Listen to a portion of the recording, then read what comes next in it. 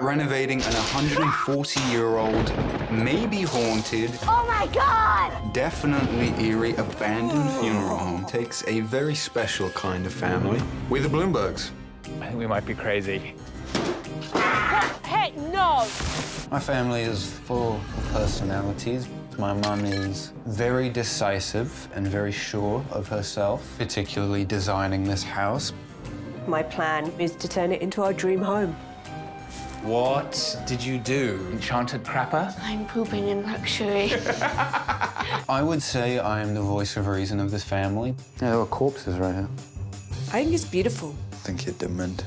Aaron, my dad, will do anything in his power to keep Mum happy. This is really incredible, Delight. Very well done. it's a body box. Have you agreed to this? I'm not sure I get to agree to it.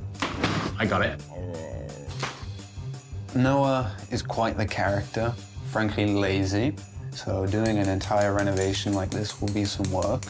Mostly falling on me. I don't like doing this. She's found the easiest job, which is paranormal research.